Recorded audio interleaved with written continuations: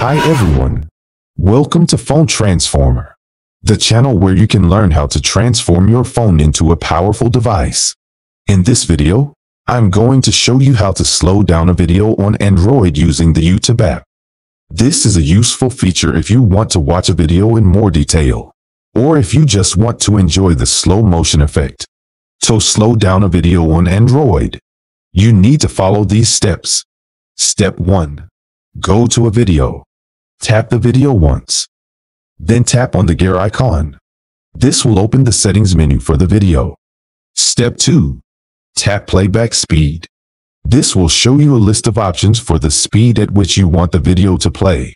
You can choose from 0, 25x, 0, 5x, 0, 75x, normal, 1, 25x, 1, 5x, and 2x. Step 3. Select the speed at which you'd like the video to play.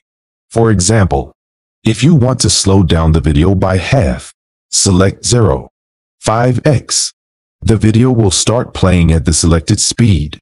You can change the speed at any time by repeating the steps.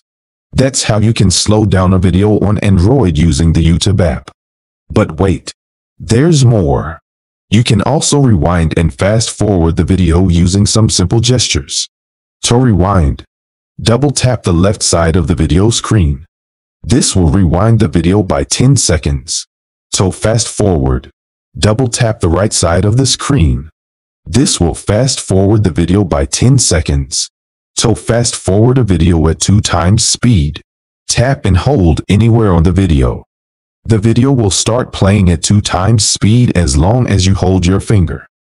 So stop fast forwarding. Lift your finger. These are some of the ways you can control the playback speed of a video on Android using the YouTube app.